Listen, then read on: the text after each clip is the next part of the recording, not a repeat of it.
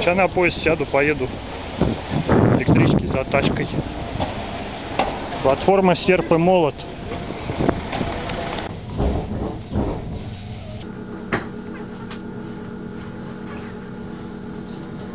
Не мешайте машинисту контролировать закрытие автоматических дверей.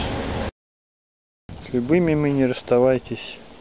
С любимыми не расставайтесь. Придется расстаться. Глушитель-то мне поставили наконец-таки.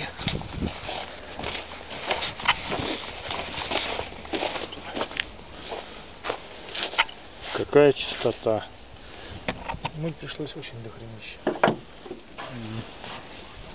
Потому что вот здесь просто были куски грязи. Видишь, вот до конца еще, еще до конца не самое не все вымыло. Там много очень, наверное, с, с прокладки По со- сочилось да, долгие, го- уже, долгие да. годы, да.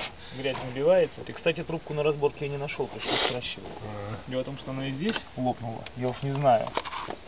Вот каким макаром здесь. Не знаю. Вот, она не до конца, она держалась, но этот самый, заломлена была. Вот, все супер. Это он такой свежий, что ли? Ну все вымытое, конечно. Как будто его и нету. А у меня обычно черное же. Ну понятно, вот, но оно да. почернеет со временем, но Ну сейчас-то да. все вымыто. Чуть выше середины. Ага. Охеренно. Да. Этот самый. Желательно, конечно, ты сейчас немножко покатался. Посмотреть, как будешь себя будет вести. И надо будет этот. А что антифриз там? Нет, туда ушел? Ну, ушел, что ли? Но он уходит, поня- понятно, пока термостат не отработает, он будет уходить еще немножко. Ну, Понятно, что в этом самом, в радиаторе-то его сейчас нет. Скорее всего, А. либо наполовину. А его доливать придется, да? Да. Ну сейчас этот, сейчас доедешь, тогда дольем. Куда? До, до, до, тво- да, до гаража? А, все равно так же по ощущениям воздух опять качает. Нет, оно не воздух, оно просто берет в самом низу, а должно брать гораздо выше.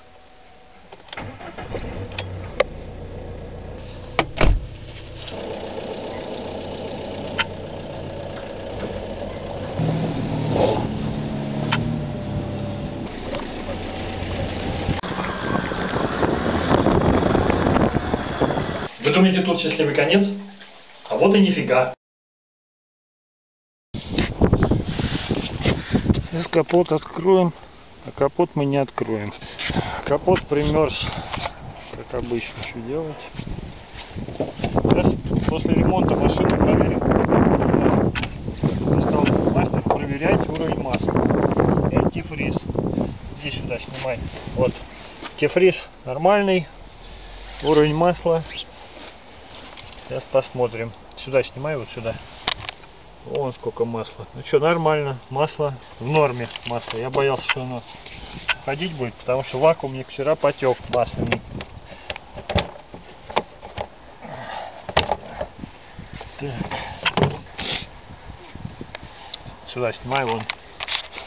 Вон там, где вакуумник, вакуумник. Там на коробке масло с вакуумника полилось.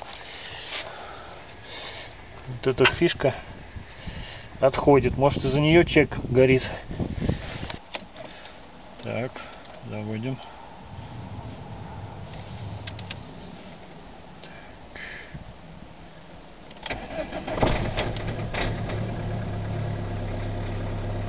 Ну, Плохо завелась она, конечно. Чек не погас. Должен уже погаснуть. Не погасло ничего. Говорят, какой-то датчик там не работает неправильно. Завели машину. Так, сейчас. А, гидрач не работает. Ой, руль не крутится. Почему-то масло там поменено, и он что-то перестал работать. Ну, иногда чуть работает, но когда едешь, он, конечно, легче крутится. А так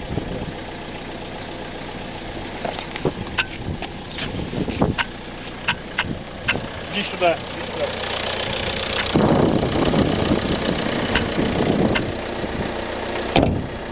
Теперь он не закрывается. Ой. То он примерз, теперь не закрывается. Прикольно, да? Сейчас мы ставим... Он снимает вообще? Сейчас мы ставим наше средство. У меня есть болтик специальный. Специальный болтик. Специальный болтик. Иди сюда, оператор. Вставляем его вот сюда. Смотри. Там у меня есть дырка.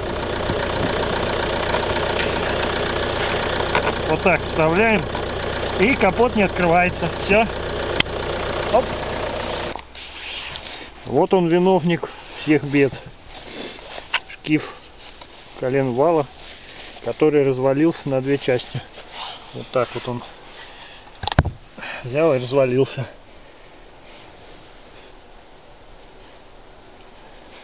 Сказали, что масло типа разъело. Ну, может, оно и так. Наверное, из сальника бежало и разъело.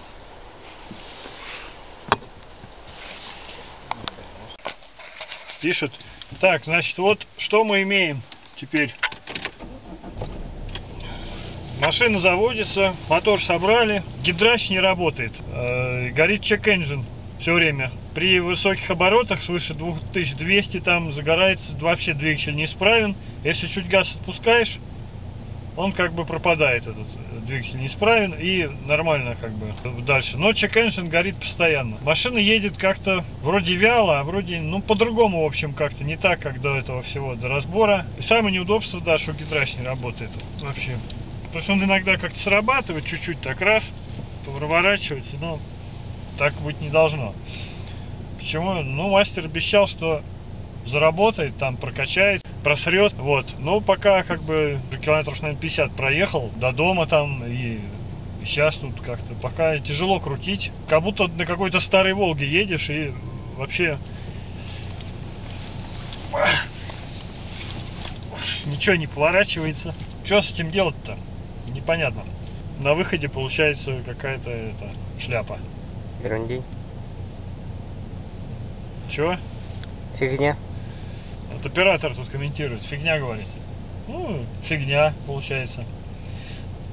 Купили сейчас в магазине масло на долив. Мастер сказал, следи за маслом и за антифризом. Ну, антифриз нормальный, масло тоже нормально. Но чуть-чуть почернело. Вот, это его вообще не видно было. Достаешь щуп, а оно как будто и масла там вообще нету. А сейчас чуть почернело, видно, уровень нормальный там. Вроде не сожрало ничего. Даже несмотря на то, что вакуумник подтекает и масло. Ну, слово вот я буду вырезать. Что еще, что еще-то? Сейчас я вспомню.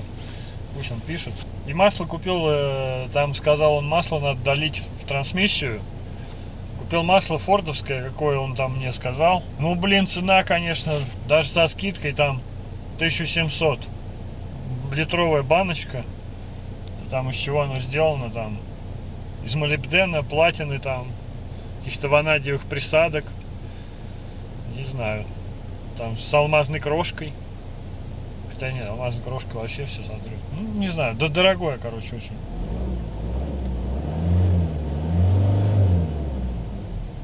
Так вот на месте газуешь, чек этот не загорается, двигатель не справен. А вот на ходу может загореться. Ну, загорится. Сейчас мы разгонимся где-нибудь на пустой трассе.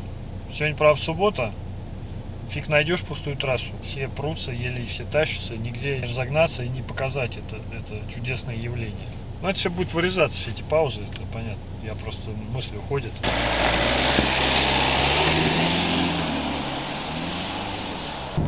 Две, две сто оборотов.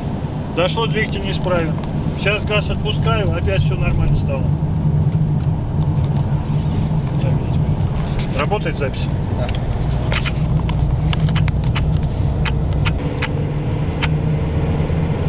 О, двигатель неисправен.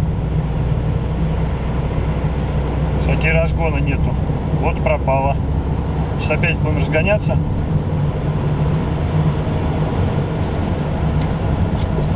Пятое.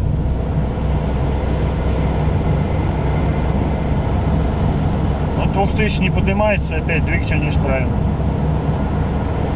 С виду все нормально, вроде работает. А чек-энджин горит почему-то. Всё, Ремень не подкатил. Все крутится.